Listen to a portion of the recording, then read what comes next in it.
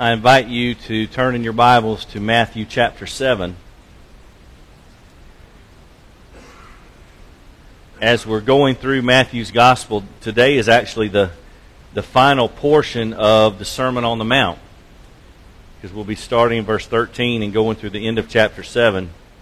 So as you find your place there, I want to just maybe give you a, a context, maybe a mental place to start or to, to orient your minds. There's a phrase that people use sometimes to describe a project, like usually it's, it's a home. Uh, I, I, have some. Uh, uh, I have a friend and acquaintance who he and his wife are in the process of uh, remodeling, redoing uh, a farmhouse that was built in the late 1800s.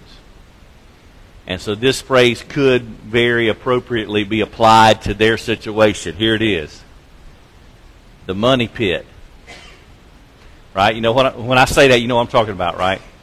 Because you, you, you embark on this process, this project. It's supposed to be fulfilling and, you know, fun. Uh, and then you get into it, and then maybe it's not. You know, maybe what started out as, oh, this is going to be so cool when we, you know, completely redo this house and it, you know, it was old and now it's new and it's renovated and remodeled and it just, it looks so amazing and it's still historical. You know, you have all these thoughts in your mind and then you start and you, you fix one thing and then you discover six more things. And you start to fix those and you discover a dozen more and then you know what your your budget as you started uh, grows and grows because you didn't have full knowledge of everything that needed to be done. You find unforeseen projects within the projects, and you know uh, money just keeps. You feel like you're just pouring it down a bottomless pit, right? Well, guess what? Spiritually speaking, Sometimes I feel like I am God's money pit. Sometimes I feel like just when I start to make a little progress and God works on me and fixes something in my heart, in my life, and as He's at work fixing something in me, He discovers a, another half a dozen things that are wrong. And, and it makes me wonder how can God continue to be patient with me? How can God continue to pour out His Spirit and His love and kindness and His grace and mercy and continue to have all this patience when it seems like my life is just a money pit? Uh, I'm thankful that God has unlimited resources. I'm thankful that, that God is patient with me. I'm thankful He hasn't given up on me. Because every time I feel like I've taken a step or two forward, I, uh, something happens or uh, some situation arises, and then I feel like I go back six steps. I don't know if anybody else can identify with that. But that's how I feel. And I just figured if I feel that way, I'm probably not alone. So today's portion of Scripture in Matthew 7, I feel like the title's pretty appropriate. There's two ways to live. And, and Jesus is going to go through four different sections of comparison in this last section here but what it amounts to is this there's two ways to live. We can live for Christ, we can follow the Word, we can do our level best to spend time in prayer and spend time in Bible study and spend time in fellowship with God's people and serving and trying to practice love and forgiveness and kindness and those type of things that uh, are supposed to characterize a Christian life. We can do all those things but if the Holy Spirit of God is not in you, dwelling and working and shaping and transforming, it's just a, a futile effort. It's, it's pointless. We don't possess the power, the strength, or the capability to transform our own hearts.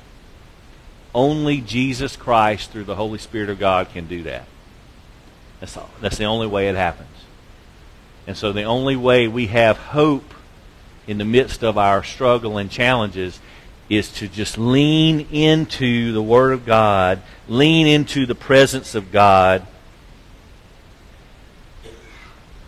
and wait for His work to be fully realized. We have to cooperate, don't get me wrong. We cooperate all along the way, but God is working all the time. And so today we're going to consider Matthew chapter 7, beginning in verse 13. And as we do, my prayer is going to be that we will hear and understand and obey and be transformed by the power of God. The words will be on the screen to follow if you'd like to follow along there.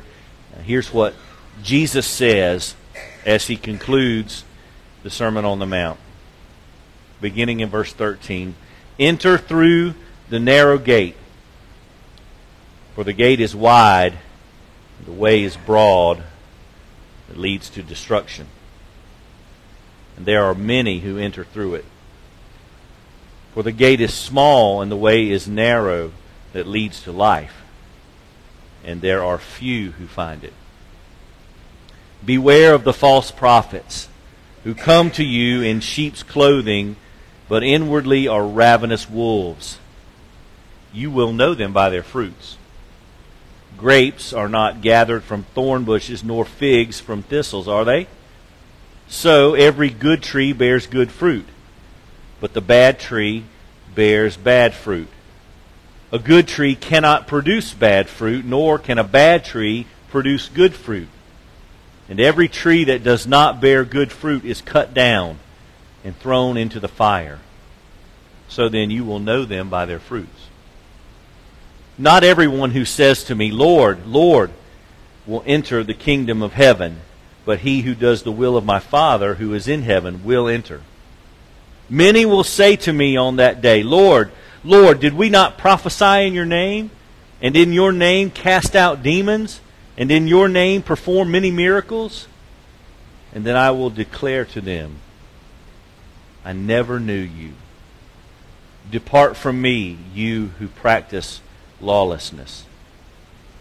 Therefore, everyone who hears these words of mine and acts on them may be compared to a wise man who built his house on the rock.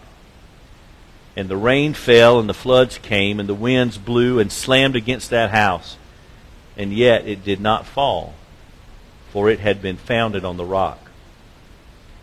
Everyone who hears these words of mine and does not act on them will be like a foolish man who built his house on the sand. The rain fell, and the floods came, and the winds blew and slammed against that house, and it fell, and great was its fall.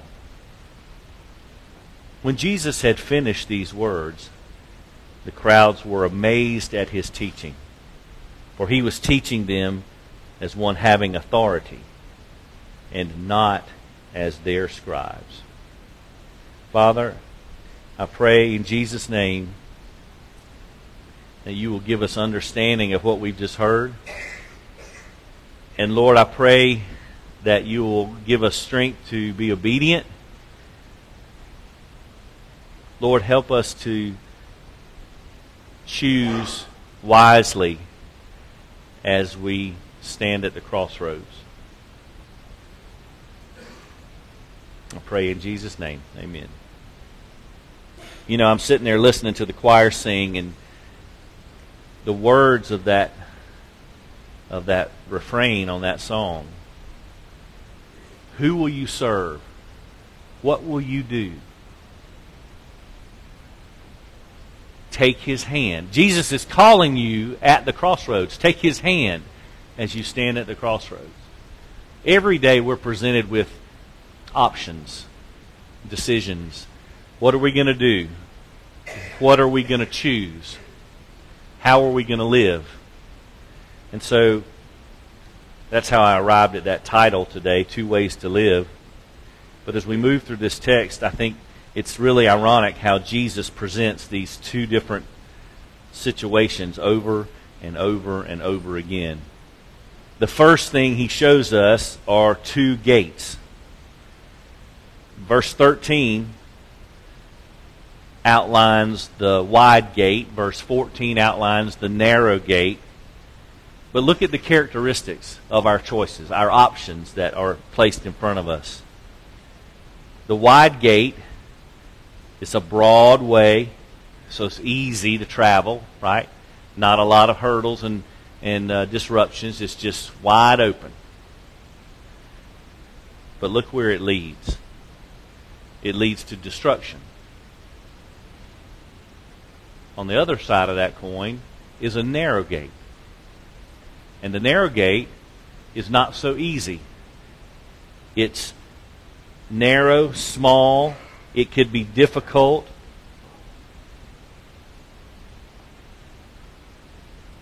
But that is the way of discipleship and persecution. The interesting thing is the destination is life. Now, as you see the descriptions, here's the interesting thing about this comparison. Look who finds each gate. The one that looks like, okay, I don't want any part of that one, that one leads to destruction. And what does Jesus say? Many, many enter through it. But then the one that's the one that's attractive that we want, because it leads to life. That's what I want, right? I want life. And and Jesus says in verse 14, there are few who find it. Now, doesn't that seem wrong? Doesn't that seem backwards?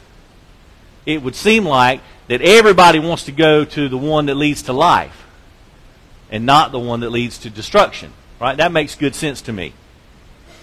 But it's just the opposite. Many go through the, the broad gate.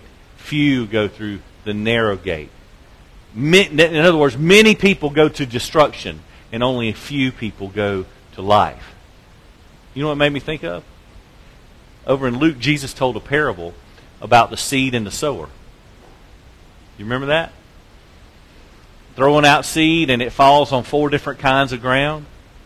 Well, if you look at that parable, there was only one out of the four that bore any fruit only 25% of all the seed grew and, and bore fruit and did what it was designed to do. 75% of the seed that was thrown out burned up, got choked down, didn't bear fruit at all. In other words, 75% followed the path to destruction. 25% followed the path to life. I don't, I don't like that. I don't like those statistics. But Jesus knows what he's talking about. Leon Morris wrote these words The narrow road is far from an obvious way to go. It must be found. Now listen to this. No one drifts into the narrow way by chance. You know what that means? That means if you and I are left to ourselves, to our own desires, apart from God, apart from the Holy Spirit, we are not going to just wake up one day and, and come to this conclusion. You know, I really think I should follow Jesus. That's not going to happen. If we do what we want, we're going to eventually, consistently, go the wrong direction. If, we're, if we shut God out of the equation, that's what's going to happen. That's who we are. I don't know if you knew that, All, everything I'm telling you is right in here. In Romans 3, Paul wrote that there is none righteous, not one. There is no one who does good. There is no one who seeks after God. That's discouraging. You think we need Jesus? I think we need Jesus. There's two gates. Number two, there's two trees. two trees. Jesus talks about false prophets in verse 15. He says, Beware. You see, each one of these sections kind of talks about having a, um, a command, um, an, uh, an admonition, uh, an encouragement to do something. The first one in, in the last two verses was, We need to enter, verse 13, enter through the narrow gate. Verse 15, Beware. Beware of what? Or, or whom? The false prophets because false prophets falsely claim to speak for God. here's what that looks like in a real practical sense. Uh, it's it's people who might have uh, a position or a place to stand, kind of similar to this, uh, and they're standing and they're talking. But uh, here, here's here's how you can usually, not always, there's always an exception, but usually, here's how you can identify what Jesus is telling us to watch out for if I stand up here and I don't have this, and I just start talking, and maybe I'm telling you a story, or maybe I'm giving you an, an opinion, or maybe I'm giving you three steps to financial freedom, or five steps to a happy marriage, or you know whatever it may be. I, I've said this before, and I'm going to continue to say it. Nobody needs my opinion on anything it's you know what I'm not going to tell you about opinions, but you know what they are. Everybody's got them, and most of them stink. You don't need my opinion. You don't need my advice. You don't need my suggestions. What you and I both need is a word from God. That, that's all we need. And so, those who would claim to speak from God but don't open a Bible. Those who claim to speak from God but aren't praying and, and, and seeking direction from the Holy Spirit. Beware. Watch out. They look like sheep, but they act like wolves. But Jesus says you'll know them by their fruit. You'll know them by their lifestyle. You'll know, their, know them by their actions. They promote division. They promote bitterness and ungodliness. And then he uses this, this uh, analogy from, from farming, from nature. You don't get grapes from a thorn bush. You don't get figs from a thistle. Those things don't grow that way. Now, here's the interesting thing about two trees the text says, I read it just a moment ago, verse 17 and 18, it talks about a good tree bearing good fruit and a bad tree bearing bad fruit. But you know what's interesting? That the Bible uses two different Greek words there in those verses, in verse 17 and 18. One's good and one's bad, but the other ones, if we were to, to say this literally, we're not looking at a good tree and a bad tree. We're looking at a healthy tree and a diseased tree. A healthy tree gives good fruit. A rotten, diseased tree gives bad fruit. That's, that's what is really in the text. That's what Jesus is trying to tell his audience. A healthy tree bears good fruit, healthy fruit. In fact, it cannot produce bad fruit. But a diseased, rotten tree bears bad fruit. In fact, it cannot produce good fruit. But what is the disposition of these two trees? What happens in verse 19? Every tree that does not bear good, healthy fruit is cut down and thrown into the fire. So let's apply that to the people that we're talking about because Jesus said to beware of false prophets. That's really the focus here of this analogy about the trees, the false prophets. In other words, a, a healthy teacher, a, a good teacher, is going to open up the Word of God and read and explain the Word of God and apply the Word of God. This is what we do, right? I heard a preacher in North Carolina say one time there are two kinds of preachers those who preach the Word of God and those who need to resign. Can't say amen, you ought to say ouch. I don't, ha- I don't have a word for you. God has a word for us. I, I don't have the answers. Sometimes preachers get kind of forced into that mold of, well, let's ask the preacher. He knows. He knows everything. No, no, the preacher doesn't know much of anything. But I can point you to the person who knows. I can introduce you to the person who knows. I can help you grow in your relationship with the person who knows. It's not me. We are, we are both in the same position. Okay? We, have, we might have different roles and different jobs to do in the church, but we are all in the same spiritual standing. I need Jesus just as much, if not more, than everybody in this room. Okay? So let's just let's make sure we understand who we are. A, a false, diseased teacher is going to bear bad fruit, and they're going to be ultimately cut down and thrown into the fire. Leon, Leon Morris said, People who run orchards do not put up with rotten trees. If there's no good fruit, there's no good reason for the tree to exist. See, this is who this is who Jesus is calling us to be and what he's calling us to do. We're supposed to enter through a narrow gate that leads to life, and it's hard. And it might be riddled with persecution and challenges and hurdles to get over. But we're supposed to also beware of false prophets, false teachers. They come to you looking like a sheep, but they're acting like a wolf because they're leading you further and further away from true life, from that narrow gate. And he tells us what the disposition will be of those false prophets in the end. There's two gates, there's two trees. There's also two claims in verse 21, this is maybe some of the most frightening scriptures in this passage. Because when you get to verse 21 and you start reading, not everybody who says to me, Lord, Lord, will enter the kingdom of heaven. So I want to point out two words to you in verse 21. These, if you like to write in your Bible, these are worth circling, okay, or underlining or something. Verse 21, it says, Not everyone who says to me. So I would circle the word says.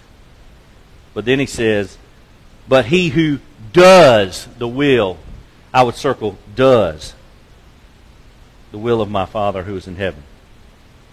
Not everybody who says to me, but whoever does the will of my Father. You know what that means? Anybody can talk a good game. What are you doing? What are we doing? This, this is weeding out some false followers because Jesus says in verse 22, Many will say to me on that day. You, you know what, uh, that word, many? You know where else we found that? We also found that up there in verse 13 when we were talking about the, the wide, broad way and gate that leads to destruction. Many will enter through it. But now, in verse 22, many will say to me on that day. And by the way, you know, it's almost like a, this is a good illustration from leadership. Because in leadership principles, if you have to continually remind someone or tell someone that you're the leader, then you're not the leader. You know how that works? You don't have to tell somebody that you're the leader. How do, you, how do, you, how do they know? You show them you're, you're acting, you're, you're acting your, your leadership. You're living out your leadership. Your actions speak louder than your words. So Jesus says, Many are going to say to me on that day, Well, didn't we do this? And didn't we do that? Didn't we do this?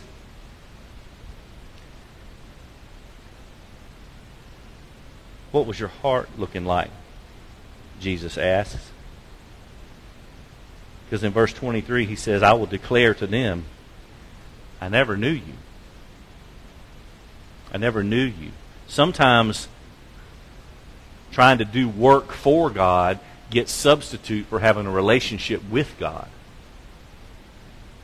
Well, I just want to do stuff and stay busy. Well, okay. What's your relationship like with Jesus? Because, see, if we're trying to do stuff and that's our merit for salvation and forgiveness instead of who am I in Christ? What has Jesus done for me? What do I believe? And how does that inform what I do? See, you see the difference? So if we're trying to work with that, that's evolving or devolving into a works based religion. I got to do these things in order to be favored by God. See, we don't work for victory, we work from victory we don't work to gain our salvation. We work because we have been given salvation. See, Jesus didn't set a prerequisite for this cross when he went and died. He didn't say, all right, now look, if you meet these requirements and you do these things, if you check all these boxes on this list, then my blood will be applied to you. That's not what happened. How does a person receive salvation and forgiveness? How is someone saved by the blood of Christ? Surrender, repentance, belief, confession. Repent and believe the gospel. Confess Jesus Christ as your only Lord and Savior. He's the only way I'm going to heaven. It's nothing I've done. It's nothing I've said. It's nothing I can do. I can't earn it. Jesus Christ died for me and shed His blood and took a beating worse than any other man on earth. That's how I'm going to heaven. Because of Jesus. Y'all all right? Does everybody understand what I'm saying? There's no other way to heaven.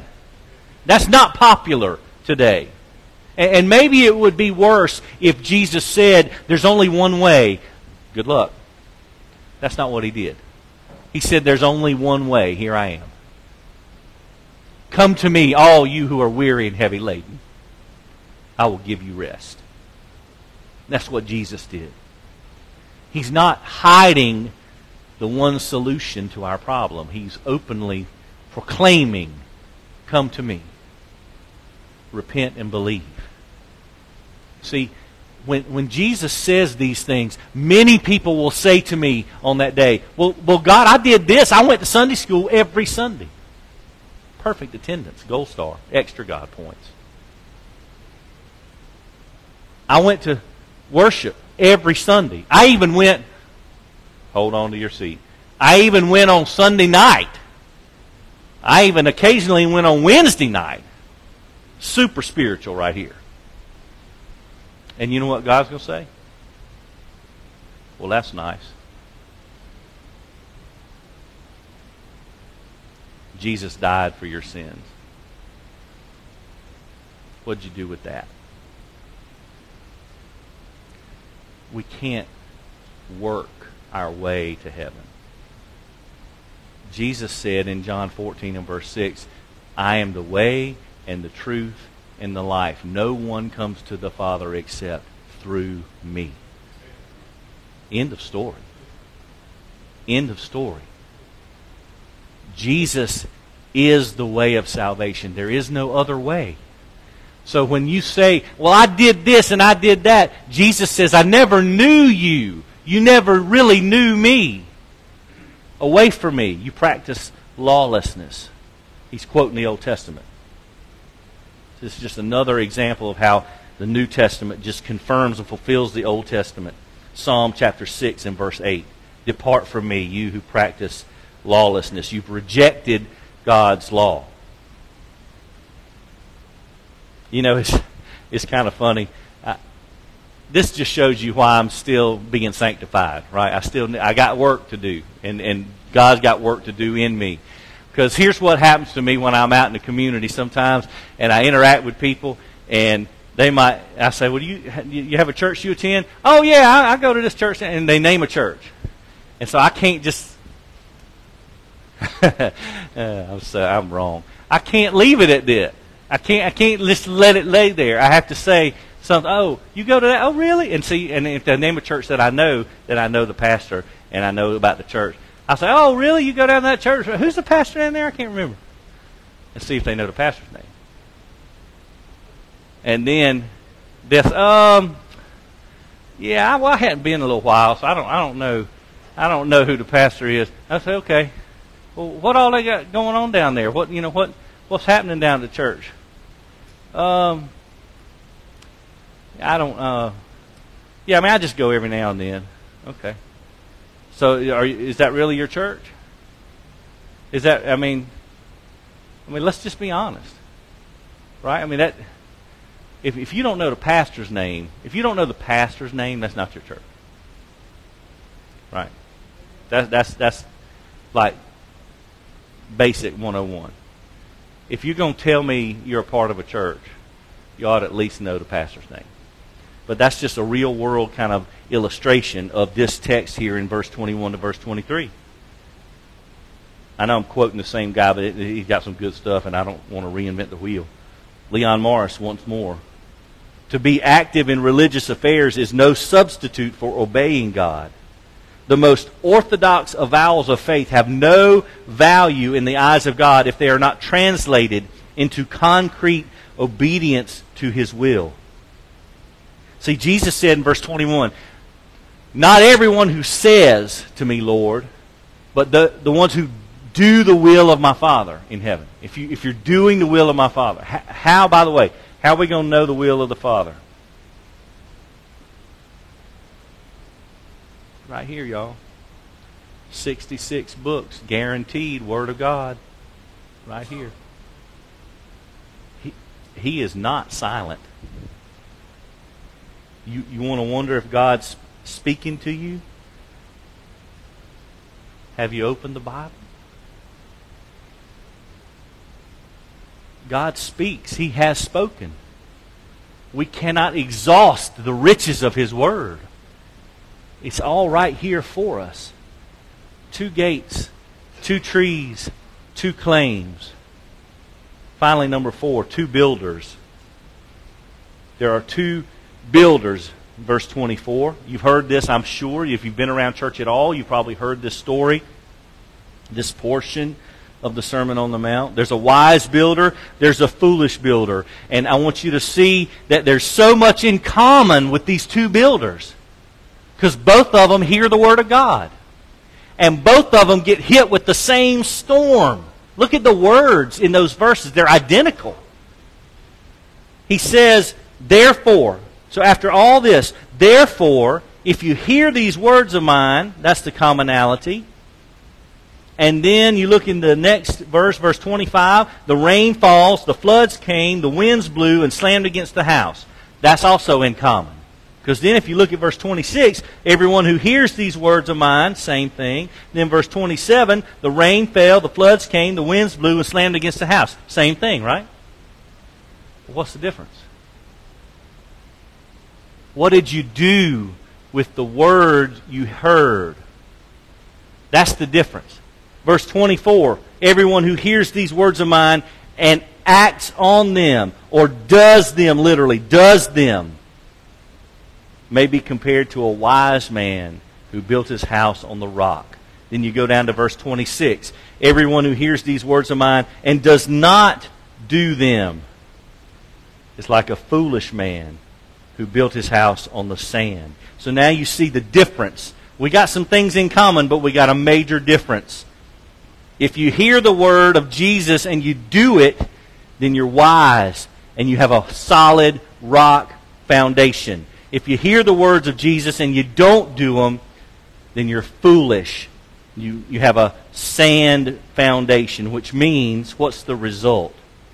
When the rain falls and the flood comes and the winds blow and slams against your house, the wise builder has a house that doesn't fall. Look what the text says in verse 25. Because it had been founded on the rock. Not because the builder used different materials or had or lived a better life. It's not because of that. It's because of that foundation, the solid rock, Jesus Christ. But the foolish builder, when all those trials came in verse 27, that house collapsed, it fell, and it was a complete, total loss. Have any of you ever had the opportunity to travel down to the coast, to the beach, after a hurricane? It'll give you some perspective. 1989, Hurricane Hugo. All the way up to as far as Sumter. The damage was terrible. Things that had been there no trace. Like I'm, I'm not talking about a pile of rubble. I'm talking about nothing. Like there was buildings and then it was sand. Nothing there. That's that's a hurricane. Okay? That's a hurricane with a man-made structure. let's apply that thought to spiritual things, to eternity. Do we really want to gamble our eternity on anything other than Jesus Christ? This isn't a game. This is forevermore. That's what we're talking about. Are we going to gamble our eternity because we maybe are inconvenienced by the things of God? Well, I, I don't. I mean, I could go to church, but I got other things to do. Well, yeah, I know. I mean, I could read my Bible, but you know, it just takes so much time. I, yeah, I could, I could pray, but you know, I don't really. It, it doesn't really do that much for me. Really? Many will say to me on that day, Lord, Lord.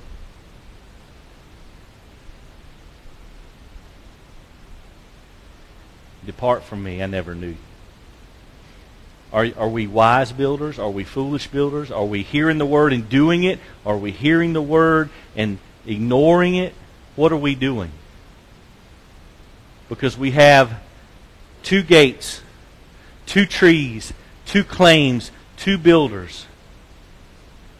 And you know, today with this last scripture, I I didn't want to try to just manipulate the text and come up with some point for the last two verses. So the last two verses are actually the conclusion to the message today. Because, you know, we if you're following along, we got two more verses left, 28 and 29. But you know what they tell us? It's when Jesus concluded his teaching. And it's a it's a crowd, y'all. It's a big group of people. Their reaction is priceless.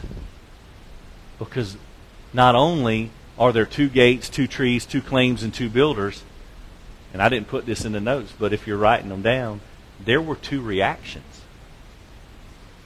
Because the people heard all this teaching. Now, you're talking about all the way back to chapter 5. Okay? The beginning of the Sermon on the Mount. These people heard all this teaching. And it says in, in the text, it says the crowds were amazed. But do you know why they were amazed? Because all, yeah, that's right. They, all they heard, they never heard that before. Never heard anything like it. Because the way Jesus spoke was not like the other religious leaders, not like mortal men. He, the Bible says, this is the Word of God given to us through Matthew. When Jesus finished these words, the crowds were amazed because he was teaching them as having authority, not as their scribes. The scribes didn't have authority. Well, let, let, let me just tell you, I'll just repeat another quote. D.A. Carson wrote this, and this is really insightful. D.A. Carson said, The scribes spoke by the authority of others. Jesus spoke with his own authority. That's why they were amazed. That's why they couldn't believe what they were hearing. Because it, it influenced them far more than anything they had ever heard. Because it was God in flesh speaking directly to them. It's all the way back to Matthew 5 when Jesus would say, You've heard it said, and then he'd quote the Old Testament, and then he said, But I'm saying to you, this is what this means. Jesus has authority. So, so let's conclude. If that's the way our text ends, the people were amazed because he taught as one having authority, not as their scribes. So, so what's our uh, application? What are we supposed to do with that? Out of all these things that Jesus has said, all these comparisons and contrasts, the, the different things that he's compared, we're left with, ironically, a crossroads. There's two ways to live. You can take this word, you can be a wise builder, you can hear the words and do them. Then, when all the storms hit your structure, it won't be damaged. It might, it might hurt a little bit, But it's not going to fall if your foundation is solid. What are we going to do with the Word of God? What are we going to do with the way of Christ? What are we going to do with the life we've been given? How are we going to live? That's the question we all have to answer today. We can't just hear this and then just say, "Oh, well, that was that was interesting." Okay, um, so all right, I'll see you next week. How foolish that would be. So I don't know. I don't know where you are today, and I don't know what God has impressed upon you while following this scripture. But I can tell you this.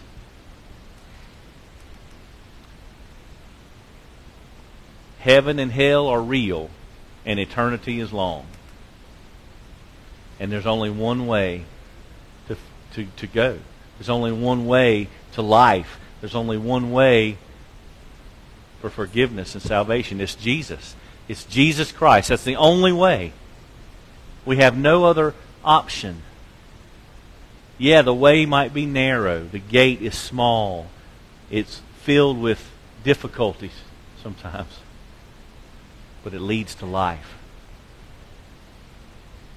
There's no there's no real real other option. I don't know of anybody who would just raise their hand and say, Well, I want to go be destroyed. That would be great. We want life. Jesus wants to give you life. Jesus Himself is your life. Call on His name. Repent. Surrender to Jesus. That, that's what He's waiting. I don't know what He may be telling you in particular in your circumstances. But I know if you're here today and you don't know Jesus, that's what he's telling you. He's saying, Come to me. Receive my salvation and forgiveness. Repent of your sins. Surrender to me. Turn away from your sinful ways. Come to me. Let me, let me fix your problems. Let me forgive your sins. Believe in Jesus. That's what he's saying. And if you are already a child of God, and who knows what different circumstances you might be facing right now. But I can tell you this Jesus already knows. And he stands ready, willing, and able to walk with you through every step. Let me pray.